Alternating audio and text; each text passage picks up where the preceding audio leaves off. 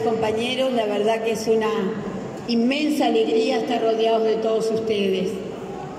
Y también para mí personalmente es una enorme alegría tener el privilegio de poder presentar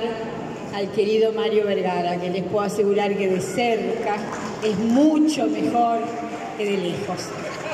mucho mejor. Quiero empezar saludando de que en su casa nos está siguiendo, al queridísimo Danilo, compañero del que aprendimos tanto y que tengo un inmenso respeto por todo lo que ha aportado a las transformaciones en el Uruguay. Y permítanme también saludar allí donde esté a Tabaré, a Tabaré Vázquez, al queridísimo Tabaré Vázquez, al que también tanto y tanto y tanto le debemos.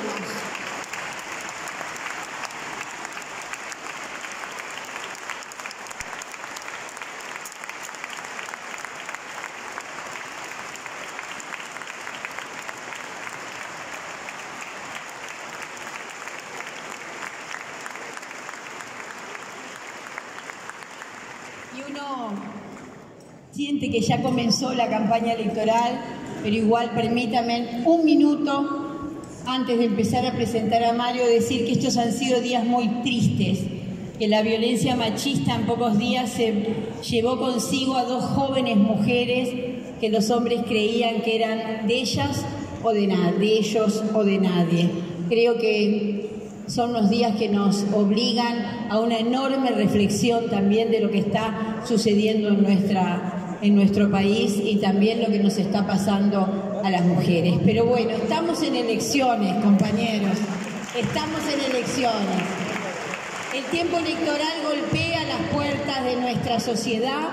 anunciando que todo el accionar político del país, de ahora en más, habla de estar definitivamente teñido por ese horizonte de finales del año próximo del que emergerá un nuevo presidente de la República o presidenta y un nuevo gobierno nacional. De lo que se desprende, por lo tanto, es que para nosotros, para los Frente Amplistas, no existe hoy una estrategia política más importante que la destinada a generar las condiciones para un triunfo del Frente Amplio en dicha instancia, habilitando de esa forma el retorno y consecuente desarrollo del proyecto progresista del crecimiento con equidad e inclusión de nuestra sociedad que nos identifica. El cronograma indica que es el momento de presentación ante la ciudadanía de los precandidatos que dirimirán en la interna partidaria de junio próximo la candidatura presidencial única y los diferentes lemas en las elecciones nacionales de octubre del 24. Conscientes de nuestra responsabilidad histórica con el proyecto colectivo, pero asimismo convencidos de la sensatez estratégica del camino elegido, hemos definido que la mejor forma de contribuir a los objetivos señalados es a través de una precandidatura común de convocatorias serenistas progresistas como expresión de una sensibilidad inherente a los sectores que la integramos, a la vez es un estímulo para la participación del crisol progresista de nuestra sociedad al que tendremos que salir a convocar. Necesitamos de un Frente Amplio unido y, como solía decirnos Sereñi, cada vez más amplio, en toda la magnitud y en toda la connotación dialéctica que el concepto conlleva en su capacidad de diálogo, de búsqueda de consensos, de interpretación y contacto con las diferentes realidades de la sociedad, amigable, solidario, tendedor de manos, abierto hacia adentro y hacia afuera, posibilitando la participación de los ciudadanos. Y para seguir de esa forma nutriendo de fortalezas y contenidos al destino transformador hacia esa luz artiguista de justicia social y de pública felicidad que nos convoca, que nos conmueve y que, como decía el general Sereñi, nos espera esa luz puntual al final del camino. Es en esa perspectiva que evaluamos dimensionar las cualidades del candidato que hoy venimos a ofrecer y a poner a consideración de la ciudadanía. Cualidades que hacen a la firmeza de Mario en su identificación ideológica con el Frente Amplio,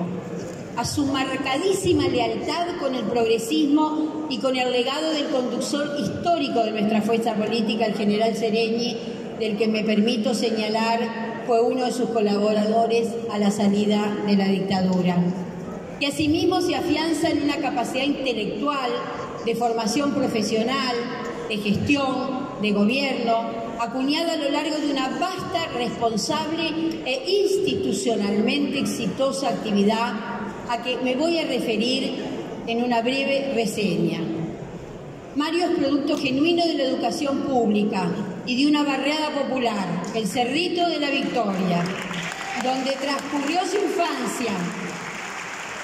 Se recibió de economista a los 22 años de edad. Cuatro años después logra su título de contador público y en 1998 obtiene su doctorado en economía en la Universidad de California. Se desempeñó como profesor de macroeconomía en la Universidad Ort y como docente grado 5 de nuestra queridísima UDELAR. Fue funcionario del Banco República y del Banco Central. En este se desempeñó como jefe de departamento y director de unidad. Durante los gobiernos del Frente Amplio tuvo actuaciones como subsecretario primero, como ministro después de la cartera de Economía y Finanzas. Fue presidente del Banco Central en dos oportunidades y previamente, durante el gobierno del doctor Jorge Valle y a propuesta del general Sereñi, representó a nuestra fuerza política en el directorio de la URSEC. Es autor de varios libros, entre otros Las nuevas reglas de juego en el Uruguay, ama las artes plásticas, ama la música, ama el canto coral, que lo hace que sus citas con el coro del Banco Central sean impostergables, y ama la Sonora Borinquen también. Lo próximo lo voy a decir en voz, baja, es hincha de Peñarol.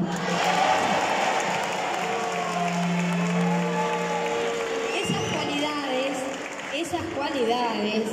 todas ellas, que confluyen en la construcción de una estatura ética de compromiso y de responsabilidad con la mañana siguiente, de decir lo que piensa y actuar en el rumbo de lo que dice, de arquetipos ideológicos enraizados en lo más profunda de su intimidad política. Identificado con los valores propios del general Sereñi, porque alguna vez lo escuché decir, es sentido tendría hablar de frente amplismo o de sereñismo, de regodearnos en frases y en proclamaciones rimbombantes al respecto, para luego desdibujar con el codo nuestras acciones y nuestro ideario que decimos representar? Todas nuestras acciones, todos nuestros pensamientos y todos nuestros decides deben estar sujetos a la vara de construcción ética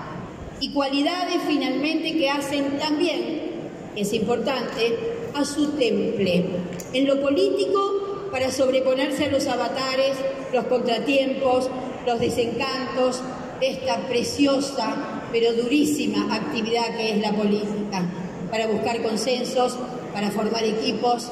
doy, fe de ello, para celebrar en colectivo.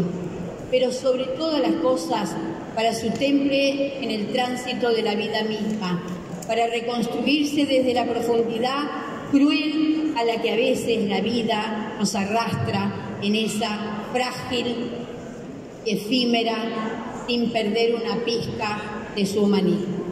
Para seguir dando gracias y seguir celebrando la vida, los sueños, los ajetos y como canta un compañero de esta casa, seguir siendo capaz de renunciar a los egoísmos, a las miserias, para entregar en verso la causa del conjunto, navegando entre fusas y semifusas del cantar colectivo, cobijado y fortalecido en el amor al prójimo, en el calor de sus afectos, compañeros, amigos, vecinos. Para mí es un enorme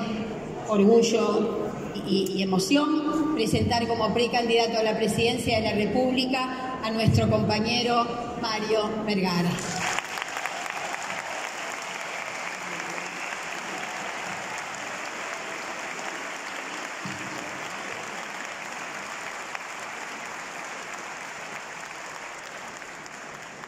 Qué difícil hablar después de Lilian que Chichiang, ¿no? Me parece que es un sentimiento generalizado.